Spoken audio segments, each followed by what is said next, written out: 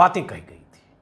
फारूकी को गाली गलौज के साथ पैगंबर मोहम्मद का नाम लिए बगैर बहुत कुछ ऐसा कहा गया था, जिस पर बवाल मचना स्वाभाविक था।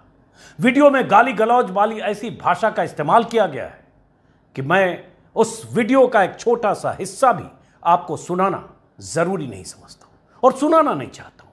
ऐसे वीडियो बनाने वाले शख्स को महीनों तक सलाखों के पीछे होना चाहिए, जिसका नाम है टी राजा सिंह।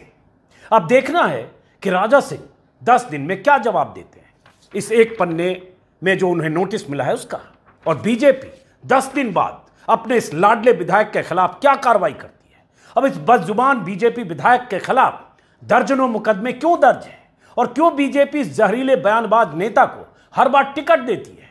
ये बताने से पहले जरा सुनिए हैदराबाद के सांसद और एमआईएम के नेता ओवैसी ने आज क्या कहा, क्योंकि बवाल तो हैदराबाद में हुआ और जेल हैदराबाद में जाना पड़ा। पार्टी ने नोटिस भेजा। तो सुनिए ओवैसी ने क्या कहा। देखिए, इसको कंट्रोवर्शियल बयान नहीं कहा जा सकता, बल्कि ये एक डेलिबरेट स्टेटमेंट भाजपा के एक विधायक ने दिया है। और ये कंटिन्यूएशन है कि नुपुर शर्मा ने प्रॉफेट मोहम्मद सल्लल्लाहु अलैहि वसल्लम के बारे में अनाप शनाप बका बकने की कोशिश की। उसके बाद एक भाजपा के विधायक ने इस तरह अनाप शनाप पका है। तो ये डेलिबरेट अटेम्प्ट है।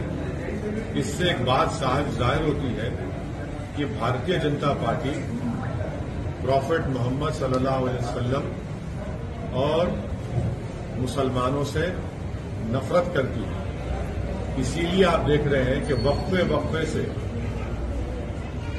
मुसलमानों को तकलीफ़ पहुँचाने के लिए, मुसलमानों को इश्तियाल दिलाने के लिए प्रोवोक करने के लिए और इससे हटकर भाजपा अपनी साफ़ नफरत, प्रॉफेट मोहम्मद सल्लल्लाहु अलैहि वसल्लम और भारत के मुसलमानों के ताल्लुक से ये दिखा रही है। ओवैसी और उनकी पार्टी के कार्यकर्ताओं के विरोध के बाद बीजेपी विधायक राजा सिंह की गिरफ्तारी तो हो गई, लेकिन दूसरे पक्ष की तरफ़ से भी कुछ ऐसी नारेबाजी हुई जो किसी भी सूरत में नहीं होनी चाहिए थी। एक पक्ष अगर जहर उगलते हुए बेलगाम हो जाए तो इसका मतलब यह नहीं कि दूसरे पक्ष को सिर तन से जुदा के नारे लगाने का अधिकार मिल जाता है। देश में सिर काटने की घटनाएँ ऐसे ही नारों की वजह से हो चुकी है। विरोध का मतलब यह कतई नहीं कि भीड़ उन्मादी नारे लगाने लगे। बहरहाल, अब बात बीजेपी विधायक राजा सिंह की।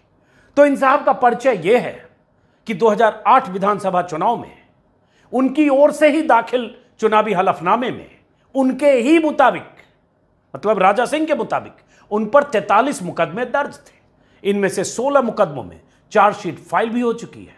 टी राजा सिंह पर सबसे ज़्यादा धार्मिक उन्माद फैलाने के 17 मामले दर्ज हैं, जिसमें 9 मामले धार्मिक भावनाओं को आहत करने के, बाकी आगजनी, दंगा समेत कई तरह के गंभीर आरोप इस शख्स पर है जो बीजेपी का विधायक है। एक मीडिया रिपोर्ट के मुताबिक, राजा सिंह के खिलाफ पुलिस में 75 शिकायतें दर्ज हैं।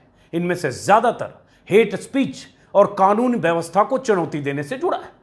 राजा सिंह धर्म की रक्षा के लिए तलवार उठाने की सलाह देने से लेकर सड़क पर उतरने की अपील कई बार कर चुके हैं। हिंदुत्व की रक्षा के नाम पर युवाओं को उकसाने वाले बयान तो आए दिन देते ही रहते हैं।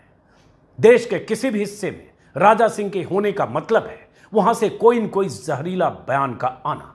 यही वजह है कि कट्टर हिंदुत्व के तो